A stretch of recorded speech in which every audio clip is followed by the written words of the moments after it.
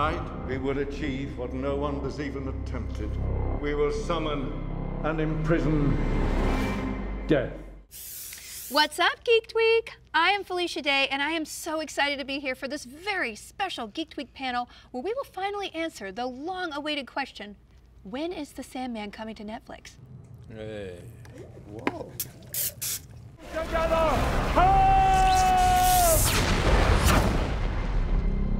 Death has family, desire, destiny, despair. We have some awesome surprises in store for you, but first, I couldn't do this panel without the three people I am about to introduce. Alan Heinberg, showrunner for The Sandman, and the man we have to thank for finally bringing this incredible world to life. Tom Sturridge, who plays the enigmatic Endless Dream, and Neil Gaiman, the brilliant mind behind the comic. Hi, Neil. Hi. um, the first issues of Sandman came out over three decades ago, and they have had such an impact on pop culture. What do you think continues to be so resonant about the story, Neil? I think the story works because, you know, young Neil Gaiman had some kind of idea of what he was doing and was desperate to tell a story that would last and also was desperate to tell a story that would keep being printed in a comic month to month because he wanted to do this more than any, anything in the world. Um, and so it had everything that I loved and cared about, and it was willing not to be the same thing. And I think that weirdness, the fact that Sandman isn't just one thing, but it grows, it changes. If you like one bit of Sandman, you may or may not like the next bit, but you'll love the bit after that actually is responsible for why three decades later it still has life. People still care about the story. Alan, um, how did you approach adapting this comic to the TV series? Because it is, it's a beast of so many different things. I approached it primarily as a fan. I fell in love with it when I was in college. I was buying it monthly um, at, on, in comic book stores. So I steeped myself in the comics again. I read all of Neil's original scripts. And then I got to work very, very, very closely with Neil, um, bringing it to life. So, but primarily as, a, as somebody who loved it and was desperate to see a version of it. Yeah, primarily as a fan. Tom, um, you are incredible too. Hey, hey, what's up? what's up? What are the Endless, and how do they fit into the story of the Sandman? Wow, what are the Endless? The Endless are a mysterious collection of beings, seven siblings. They're children of the cosmic entities night and time. They're the anthropomorphic embodiment of certain forces, powerful human forces. In order of age, there's destiny, death, dream, destruction, desire, despair, and delirium. And what's amazing about them, and what I love about them, is that despite this kind of extraordinary, fantastical description, they are like a normal family in that they're riddled with dysfunction. And it's that dysfunction which propels our story and our narrative, and that's how they're a part of it. You know, when I first came to America, people would say to me, you know, we love Sandman, and, uh, and we love that you've made this dysfunctional family. And I'd never heard the term before. So I was like, what is a dysfunctional family? And they would explain, and eventually I went, oh, that's what in England we call a family. exactly. Which one have I got? Dream. You're gonna need all the help you can get. That perfectly sets us up to introduce our next round of guests. Vivienne Acheampong, who plays Lucienne the Librarian. Jenna Coleman, who plays demon hunting Joanna Constantine. Vanesu Samunyai, who plays Rose Walker. And Boyd Holbrook, who plays the Corinthian.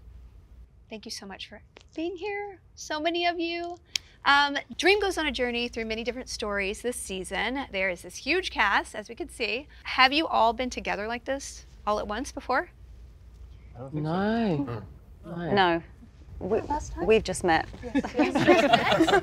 That's This is it. We're incredible. witnessing it. Yeah. Yeah, the story is so varied and it goes so many places with so many actors. It's kind of funny to, to think you're such important characters and you've never met. That's blows my mind. uh, this cast, Alan, is just truly incredible. Can you talk about finding the right performers for these roles? Um, we had the most extraordinary casting directors, Lucinda Syson and Natasha Vincent, and Mele Nagler at Warner Brothers, who's in charge of casting there. And their tastes and their instincts were incredible. But mostly, I think Neil did the work for us. Um, once word got out that, you know, The Sandman, this Neil Gaiman property that's been out for as long as it has and has as many fans as it has, once word got out, we had people coming to us saying, May I be in The Sandman? A lot of times we would start talking about you know, who do we see in this role? And uh, we got very lucky in that we were talking about Jenna from the very, very beginning, because Neil and I are huge Jenna Coleman fans. and we got very lucky um, that the pandemic, you know, allowed her the space in her in her diary to join us. So it, it happened a lot of different ways, um, but we got very lucky. Yeah.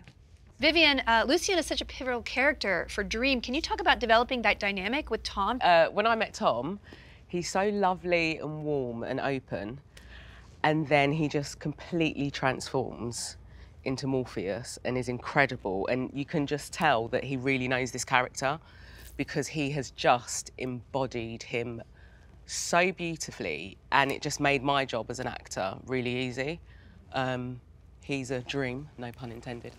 But um, literally, as an actor, a dream to work with because he just gives you so much. He's so generous. So it was a pretty easy thing for me to do with him. Boyd, the Corinthian is a fan favorite from the comics. Let's talk about those eyes and how you approach bringing the Corinthian to life. Who is he and what is his role in the show? Yeah, the Corinthian is basically the metamorphosis or the your worst nightmare in the matrix of the dreaming, created by Morpheus.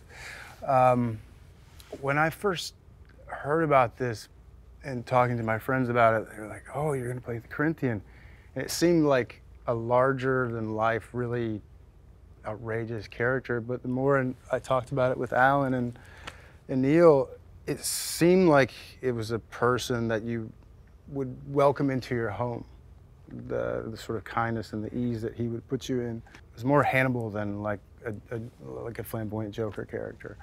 Um, and it was just very hard to calibrate being, you know, under these glasses and just how to.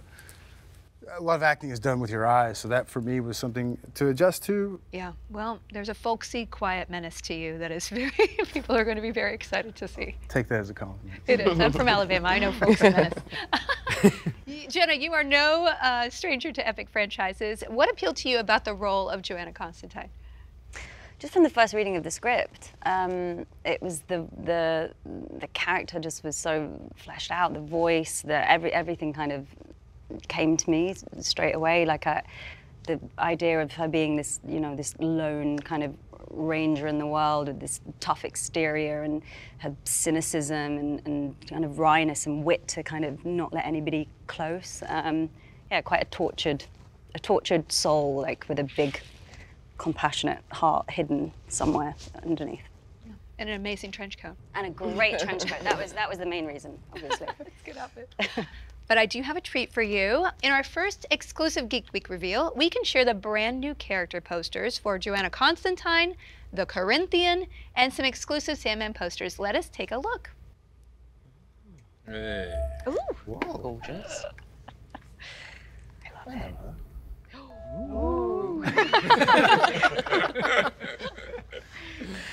Oh, What happened?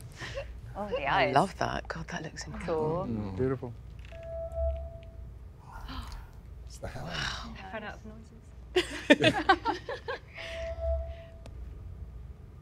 Um, yeah, and the trench coat. How is it seeing that? Was that kind of cool to see it in real life? I'm very happy we've got the we've got the uh, the crucifix in. yeah, yeah, yeah, yeah. Well, you're really work, rocking the trench coat. There's going to be a lot of cosplay, for sure. Uh, for those of you at home who want a closer look, you can check out these posters over on the Sandman Official on Instagram, and of course, at Netflix Geeked.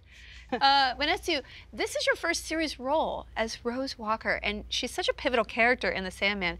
Can you tease a little bit of your story and what it was like to work with Tom? Um, so Rose Walker is a regular 21 year old who has lost her parents. And um, she's just alone in the world and she wants to find her brother, Jed. Um, she wants a sense of normalcy back in her life. Along the way, she meets uh, she meets Morpheus, and they work on you know trying to get that going.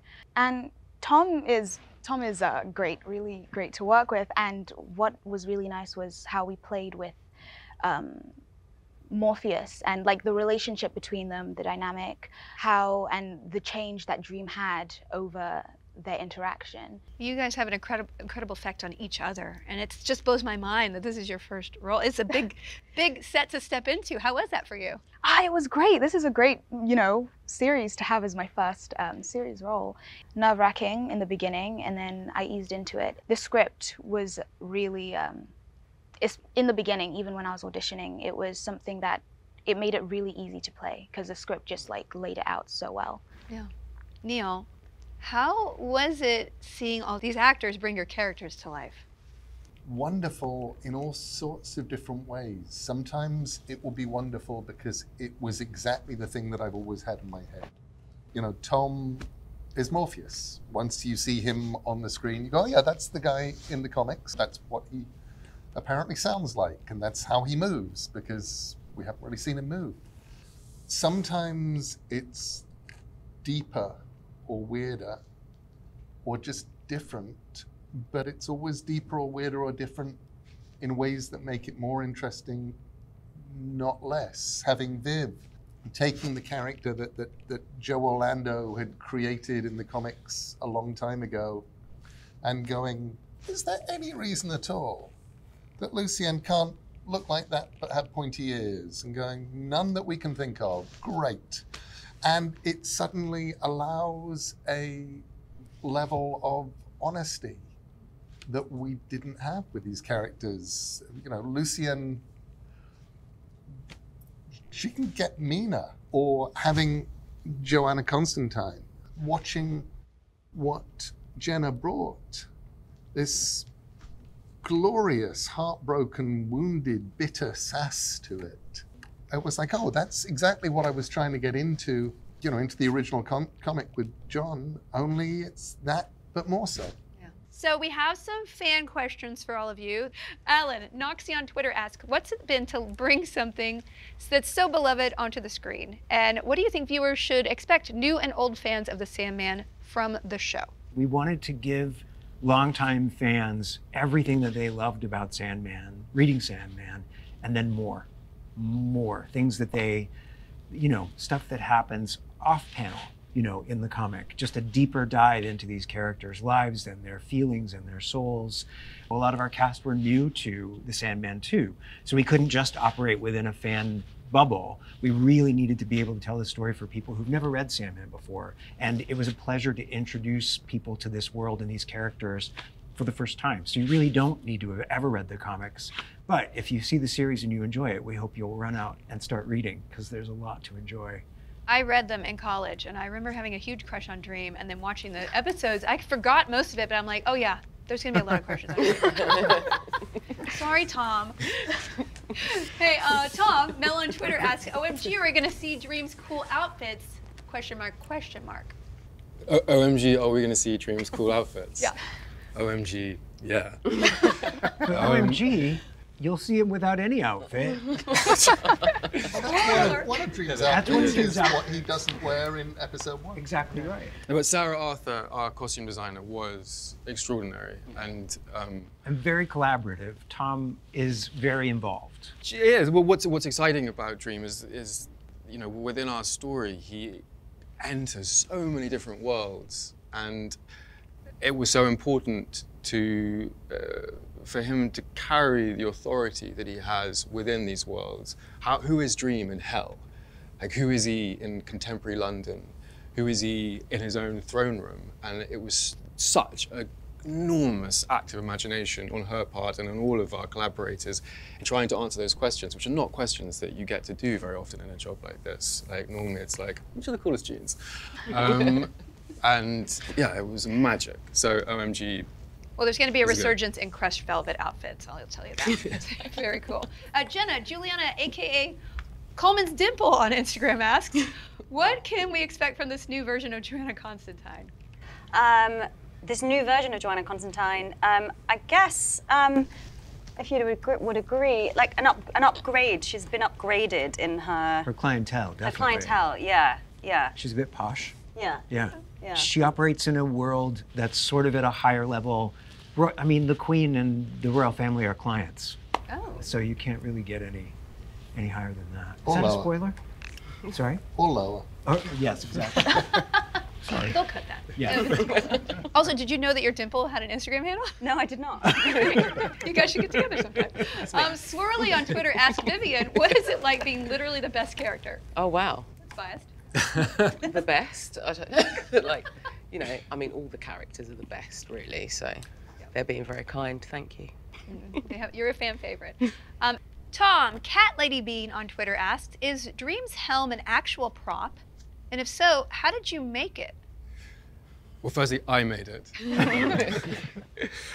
Uh, From the it- bones of a it- dead god. From the bones of a dead god. It, it, it is a real prop. Um, and as Neil said, the most important thing, again, it, it was an act of imagination trying to create it. There are so many different images of it in within the kind of the history of the comics. Um, but in Overture, um, the source of it is revealed, which is a battle that um, Dream has with a deposed god who has imprisoned him in the dreaming um, with his love, Alianora. And he, he constructs a helmet out of uh, the god's skull and spine, so he never forgets the defeat that he had when he was imprisoned.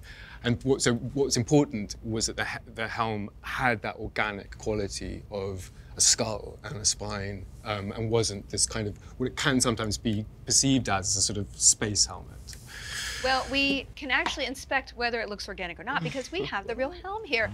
Helm girl. Here it is. wow. Thank you. Does that look like an organic spine of a dead god? Yeah, yeah, I think it It's does. very bony. I'd say 9 out of 10. Maybe 10 out of 10. Wonderful. It's just going to sit here watching us for the rest of this. It's going to be great. Um, Boyd, Stephen Rosario DZ on Instagram asks Is there a serial killer convention coming soon? Hmm? to a town near you. It's going to be It's, a- great. it's, a- it's going to be a full-on national tour. Oh, great. That's frightening. Vanesu Caravan City on Twitter asks What scene was the most difficult? It was in, I think, episode eight, where I went into Hal's dream and I had to react to what I was seeing on stage um, because we hadn't put the effects in yet um, and he hadn't got a mask on yet. It was kind of hard to try and imagine what it looked like and how terrifying it was. So my reaction was a bit smaller than it probably would have if I saw that in real life. Neil, I am sad underscore underscore ch on Instagram. Great handle. How did Neil Gaiman manage to make this story so grand and intimate at the same time? Grand and intimate, Neil. Uh, I think it gets to be grand mostly because at the end of the day, it's 3,000 pages long. So at that length, you've become an epic, whether that was where you started out or not. But also, I think one of the things that I wanted to try and do when I was writing it was to tackle enormous beings, enormous ideas, and enormous time spans. But the only way that you can make anybody care about any of that stuff is by actually looking at human beings and what happens to them and people's hearts and people's minds and what happens to those. You know, Tom's huge story as Morpheus would be so much less interesting without a Rose Walker, um, without a Joanna Constantine. You need what happens to them. Um, and their influence on him is actually what drives season one. It's all about change, and it's all about beings who are bigger and greater than gods and what they're going to become. This is a big reveal. Alan, Amanda Pike on Twitter asks who is voicing Merv?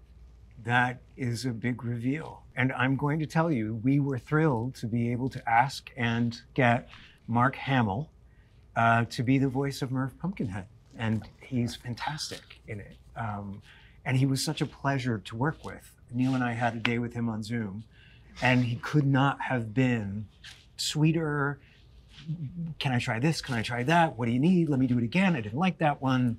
I just, I, it just made me a new kind of fan of his. Just, I loved him. And his Merv is hilarious.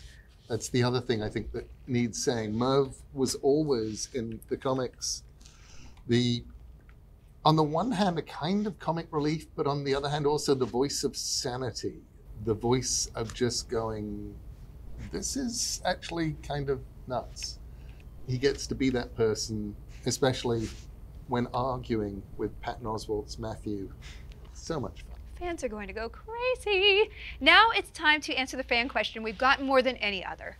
When are we finally going to see the Sandman debut on Netflix? Alan, I'm going to ask you to do the, the honors as well. All right, I have brought something special that I think can show it, if you don't mind. If I can, if we can just. Take over the stage. All right, let's let's roll the tape, as they say. I am the king of dreams, ruler of the nightmare realm.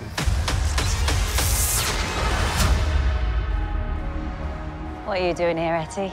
He's coming, isn't he? You. Morpheus. The Oneiromancer. You know the Sandman. He's a fairy story, Etty. He's no fairy story. He's back. Good to know. What's he got in his hands? Open your hands now!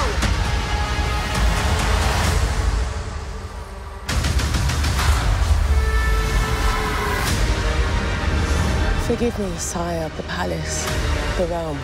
They are not as you left them. With you gone, the realm began to decay and crumble. The dreams and nightmares no longer seem to recognize their monster. You will remind them. He's free. He's out of his cage.